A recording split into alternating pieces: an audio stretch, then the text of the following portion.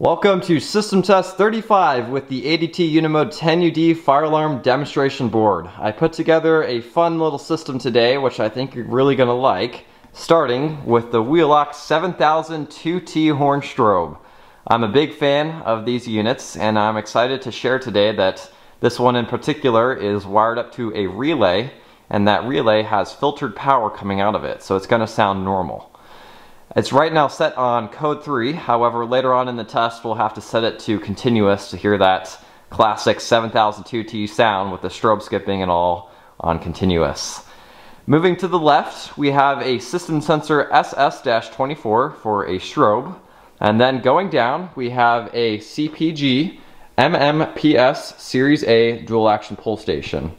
And then for a more vintage pull station, I decided to put up the Thorn B5. For the non-fire side of the system, I have a Sigcom SG-42CXK2 yellow alert emergency pull station installed. And I have this programmed so that when you pull this, all three relays activate on the fire alarm control panel. And what does that mean? It means the siren, the sounder beacon, and the corridor light will all turn on at the same time. And between the sounder beacon and the siren, I definitely think the siren will overpower the sounder beacon by a lot because this thing is loud. But I thought it'd kind of be fun to pull one and trigger all three. So that's what we're gonna do today. All right, let's activate the MMPS and hear the 7002T on code three. Here we go. Open to activate and pull down.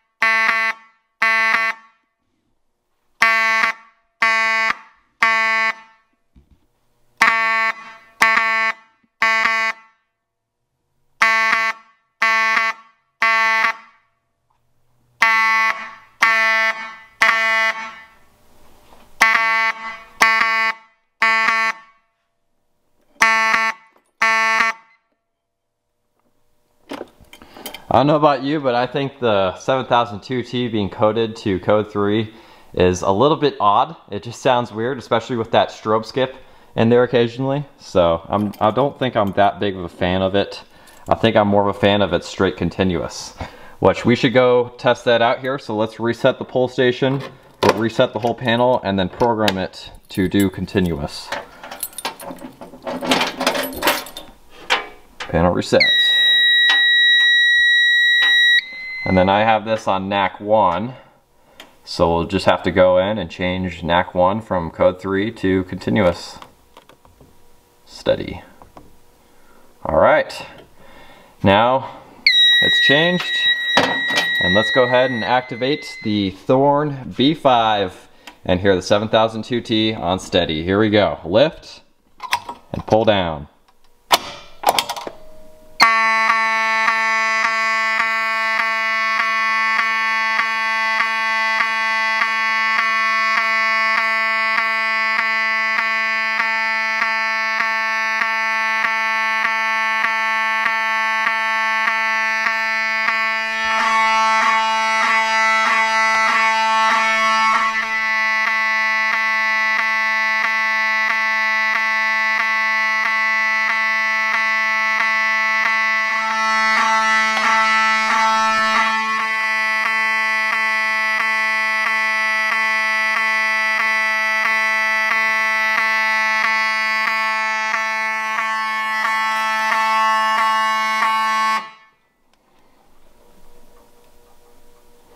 Yep, definitely like the 7002T on continuous a lot better than code 3.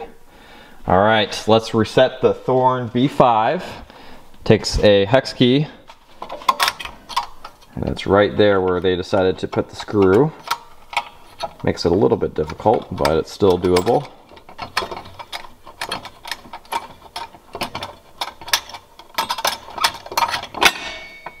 Here's what the inside of it looks like.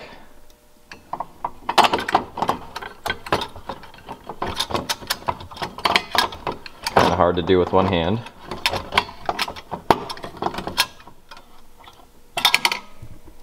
And we're reset. Okay, something I haven't done in a while is resetting the main fire alarm control panel with this white reset switch that I have down here. So let's go ahead and do that.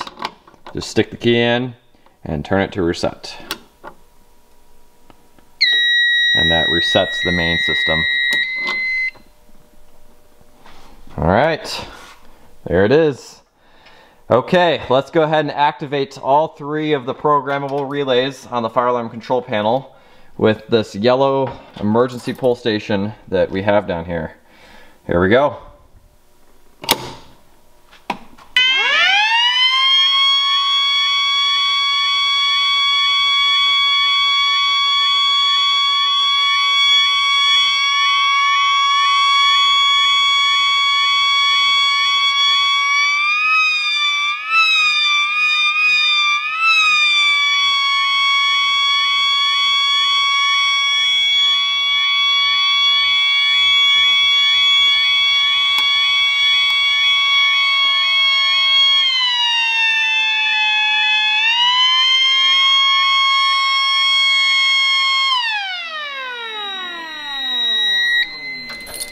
Had a power fluctuation there. Well, I think that's gonna do it for system test 35 on the ADT Unimode 10UD demonstration fire alarm system. Thank you all for watching. Rate, comment, and subscribe, and please have a great day. We'll do a fire drill.